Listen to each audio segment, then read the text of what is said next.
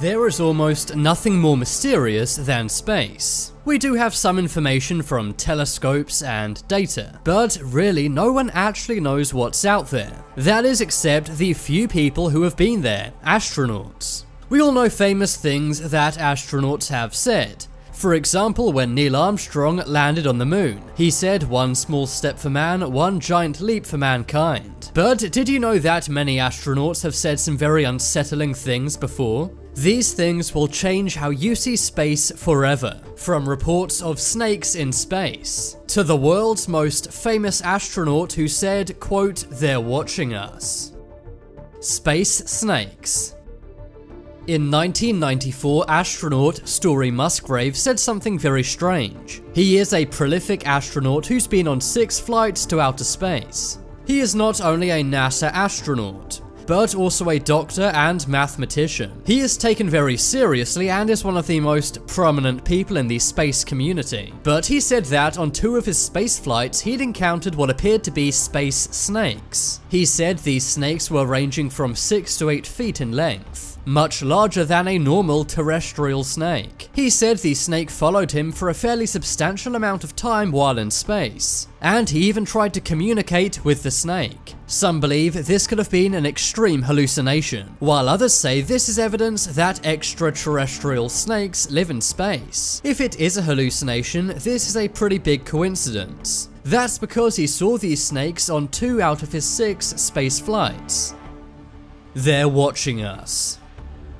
Everyone knows there are lots of questions about the moon landing. Some believe that it outright did not happen, while others believe that it did happen but we did not get the full story. But one of the most mysterious things about the moon landing is Neil Armstrong's actual first words when he landed on the moon. Most people think the first thing he said was one small step for man, one giant leap for mankind. But NASA claims to have lost transmission for roughly two minutes beforehand. The transmission was beamed to a receiver in Australia, and it was then transmitted to US televisions with a delay. In the lost two minutes, Neil Armstrong reportedly said something unsettling to NASA. He said, These babies were huge, sir, enormous. Oh god. You wouldn't believe it. I'm telling you, there are other spacecrafts out here, lined up on the far side of the crater's edge. They're on the moon, watching us. This was not heard by the world as the broadcast was dropped for two minutes. And Neil Armstrong never spoke about this ever again. But many sources have confirmed that this was what he said when he first landed on the moon. Do you think astronauts know more than they're allowed to tell us? Maybe NASA was hiding something so the public did not get freaked out. UFO formation. This one comes from NASA astronaut Gordon Cooper. He was the last American astronaut to spend time in space alone, and while he was in space alone, he had various very strange and scary experiences. Before he went into space, he was in the Air Force. And in 1951, when he was flying with other pilots, he saw what he called a vast armada of UFOs. He said they were flying in formation at very high altitudes. In 1963, he had his first voyage into space. He was put into a Mercury capsule which would circumnavigate the entire world. But as he was flying over Perth, Australia, he saw a fast flying green object. This was also picked up by tracking systems in Australia. Mysteriously, the media were told they were not allowed to talk to him about this. Some say it could have been a military experiment they did not want anyone knowing about, while others said maybe this was a UFO. Knocking. This one comes from the first Chinese astronaut in space, Yang Liwei. One night in space, he said he heard a strange and continuous knocking sound. He said someone or something was knocking on the outside of the spaceship. According to him, it sounded like someone hitting an iron bucket with a hammer. To make things even more creepy, this is not the first time this has happened. Two other astronauts have reported this exact same thing happening while they've been in space. What could be making this constant knocking sound? Maybe there was some kind of life force trying to get into the spaceship. UFO lights.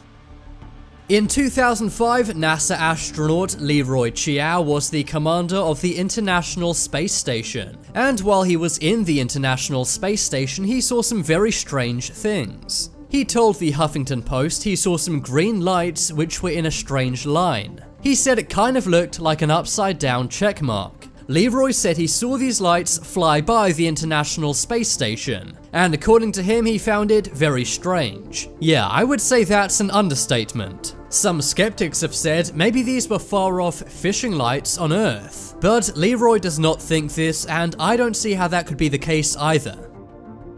Music as the Apollo 10 spaceship passed by the dark side of the moon, all of the astronauts on board heard something strange. They described it as ethereal music. Listening to the transcript of the astronauts talking about this is very unsettling. Astronauts Thomas Stafford, John Young, and Eugene Cernan heard the music. The transcript went like this. That music sounds outer spacey, doesn't it? Do you hear that whistling sound? Yes. Boy, that sure is weird music. We're gonna have to find out about that. No one will believe us. That eerie music is really bothering me. You know what? I hear it too. Who's gonna believe this? Nobody. Should we tell other people about it? I don't know, I think we ought to think about it some. Based on transcripts, it seems the Apollo 11 team also heard this same music. But to this day, we still don't know what it is and it remains one of the biggest mysteries of space. You've killed me. This is one of the most haunting things any astronaut has ever said. In 1967, Russian cosmonaut Vladimir Komarov was sent into space, but he did not make it back alive. He knew this was going to happen and said his goodbyes to his family for good before he went into space. The rocket was not ready, but the Soviet Union said he had to go into space no matter what. A few moments after he entered space, his spacecraft, the Soyuz 1, malfunctioned. His final words were picked up by a US listening post. He was screaming and crying in anger, but his final words went like this. The heat in my capsule is rising. You've killed me. Asteroids.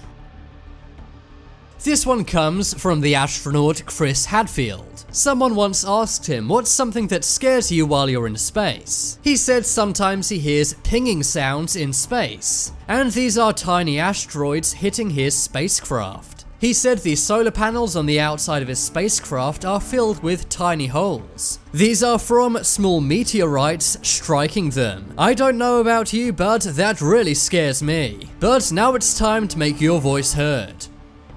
Comment below which was the scariest thing said by an astronaut. If you want some more amazing videos, check out my second channel. But as always, thanks for watching. There are some more videos on screen right now. Leave a like if you enjoyed, and if you haven't already, what are you waiting for? Subscribe to Top 10s.